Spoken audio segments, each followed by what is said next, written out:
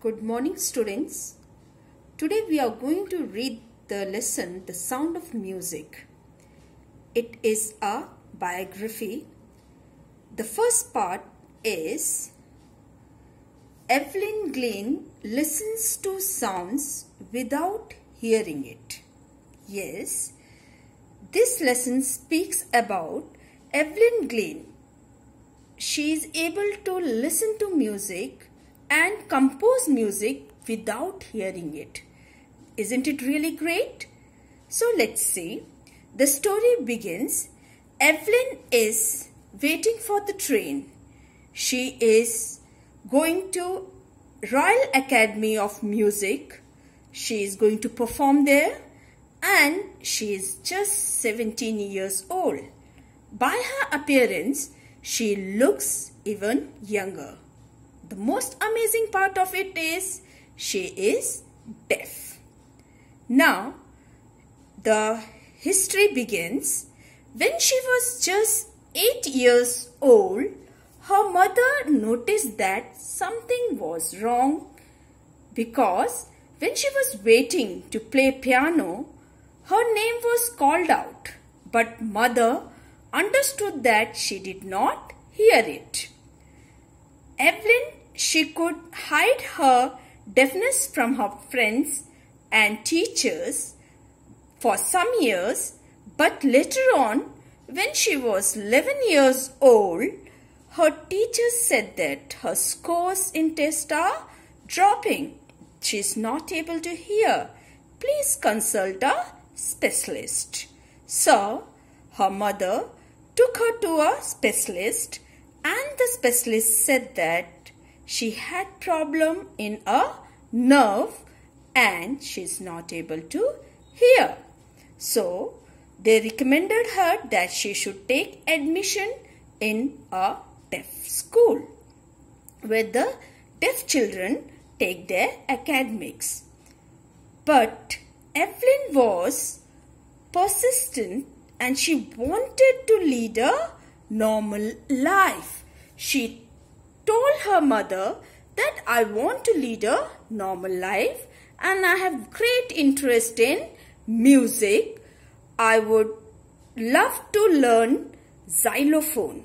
Now, xylophone, the teachers discouraged her that she will not be able to learn xylophone. But one of the teacher, Ron Forbes, he recognized her great potential and said that I would teach you how to play xylophone. Ron Forbes used to play tabla and drums. So, he said that don't listen music, please feel music. Learn through vibrations. And he would play different notes and she would feel vibrations. She was able to feel those vibrations. She would even remove her shoes so that if it is a wooden flooring, she could feel vibration through her feet, through her hands, through her skin, everywhere. She was a great learner and she learned music. When she was 16 years old, she toured UK with youth orchestra and let me tell you one more thing about her Music was her life. She auditioned for the Royal Academy of Music and there a wonder happened. She scored the highest marks in the history of the Academy. No one had ever scored the marks she had scored. That was the great miracle, a deaf girl scoring the highest marks. In her lifetime, she had captured most of the top awards. And she had the philosophy in her life. She used to say, if you work hard and know where you are going, you will get there. That was her philosophy.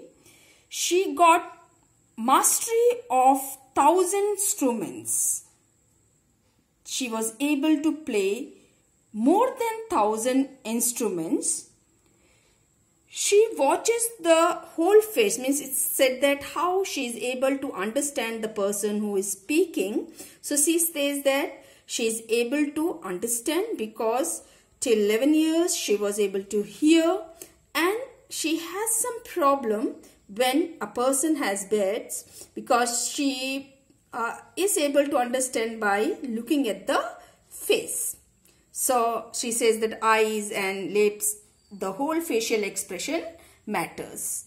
In 1991, she bagged Soloist of the Year award, the prestigious award that was backed by her. It is said by James Blade that James Blade said, God may have taken her hearing, but has given her something extraordinary. She is able to feel instead of hearing. So, it is said that she is great.